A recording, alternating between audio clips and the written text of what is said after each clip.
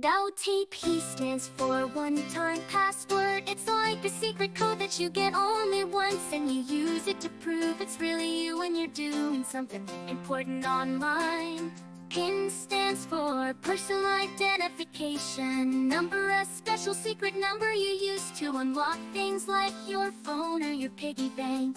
GPS stands for global positioning system. It's like a magical map that helps you find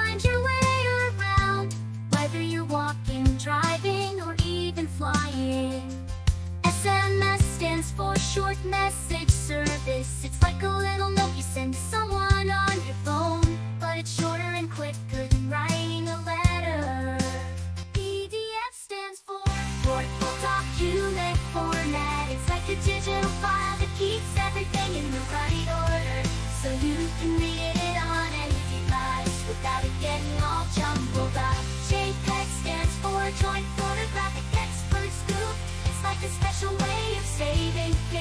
pictures on your computer or phone. So they look clear and colorful, but they don't take up too much space. Wi-Fi stands for wireless fidelity.